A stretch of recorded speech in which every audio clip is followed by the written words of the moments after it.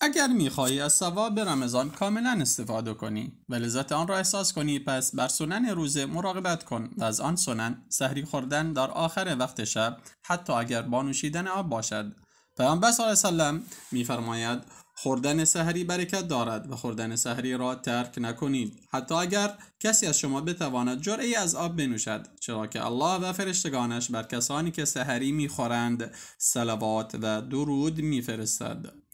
تجیل کردن افتاری همراه از آن با چند دانه خرمای تازه و اگر نبود با خرمای خشک و اگر نبود با چند جرعه آب همانطور که در حدیث آمده است. و در هنگام افتاری با این دعای نبوی آغاز می کنیم ذهب الظما و بتلت العروق و ثبت الاجر ان شاء الله.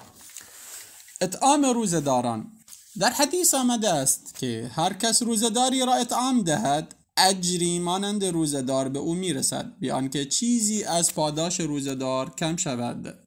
عمره در رمضان. پیامبر صلی الله علیه میفرماید ثواب یک عمره در رمضان معادل یک حج است. و در تمام روز وقت خود را با دعا و قرائت قرآن و هر چیز که او را به الله نزدیک کند مشغول سازد. رمضان فرصتی برای تقویت ایمانی و نزدیک شدن به بهشت و دور شدن از آتش جهنم است.